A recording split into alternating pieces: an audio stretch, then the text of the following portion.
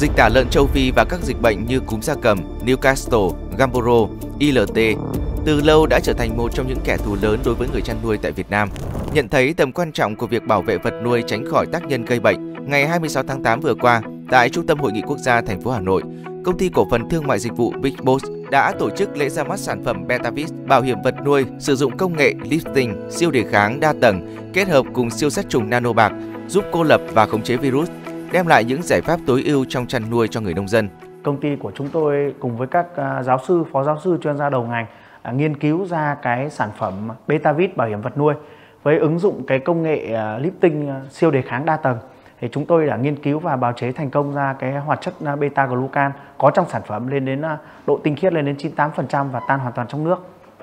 Nó có tác dụng kích thích cái hệ thống miễn dịch của cơ thể vật nuôi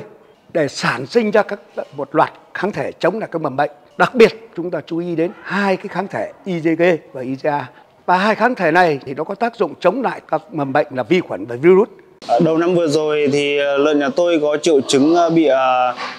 dịch tả châu Phi và tôi đã dùng sản phẩm này. Mục đích ban đầu của tôi khi dùng sản phẩm này là để khống chế dịch tả châu Phi À, nhưng không ngờ là có thể ờ, thoát thoát ly được và đàn à, con F1 F2 của tôi bây giờ đã có thể đạt 120 kg trên một con à, và có thể ờ, đạt điều kiện để xuất chuồng. Tất cả những yếu tố này kết hợp lại giúp bảo vệ toàn diện cho vật nuôi, tăng cường sức đề kháng và nâng cao năng suất chăn nuôi cho người tiêu dùng. Hứa hẹn sẽ là một công cụ quan trọng giúp người chăn nuôi vượt qua những thách thức hiện tại, hướng đến một ngành chăn nuôi bền vững và phát triển.